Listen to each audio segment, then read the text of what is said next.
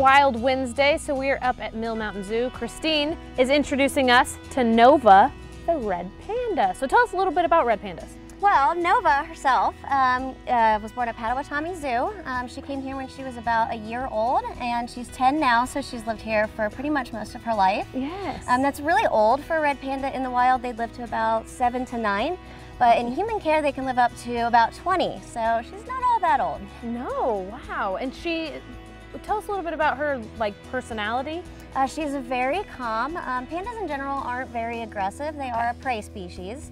Um, so they don't tend to be aggressive and Nova is one of the most particularly uh, gentle pandas I've ever met. Okay, so tell us about their habitat.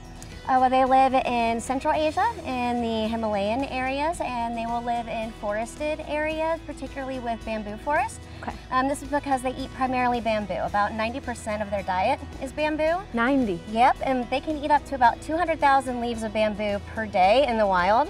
And Oh. we don't have that much bamboo here, so they do get um, what's called a leaf eater biscuit, and that just gives her all that fiber she needs to keep her digestive system in track. Um, they are um, omnivores, so they do, will eat insects, maybe uh, small rodents, um, other plants, stuff like that, um, but they do primarily eat the bamboo.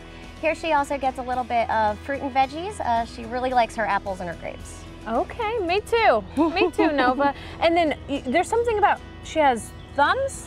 They're actually false thumbs. Um, Okay. so not a real thumb, it's a protrusion of the wrist bone. And this helps them pull in the bamboo or pull in other food um, so Right. that they can eat it. Um, this is primarily why scientists thought that they were closely related to giant pandas. Um, because giant pandas also have a false thumb. Um, but now we know, as science has gotten better, um, that they are actually not closely related to giant pandas. They're not actually even bears. Oh. Uh, their closest relatives are raccoon, and if you look at the red panda, you can kind of tell how they're uh, a little bit raccoonish. Um, you know, they've got those stripes on the tail. Um, another cool thing about red pandas is that they are arboreal. This means that they spend most of their time in the trees. And so uh, if you look at a red panda, they are dark on the underside and they're reddish on the top side.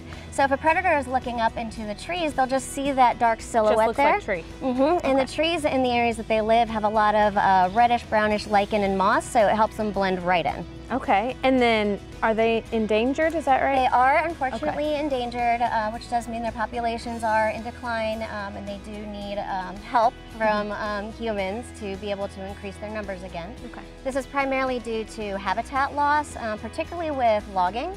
Um, so there's also fragmentation. Um, these are uh, solitary animals, so in um, breeding season they have to find each other. So if they don't have those corridors, they're not able to find each other and reproduce. And then with having to eat so much bamboo, if their bamboo source is taken away, then they don't have enough to eat. Right. Um, something that you can do is check and see if you're using um, sustainable paper resources, sustainable wood resources, um, and that way it cuts down on logging, which affects a lot of areas.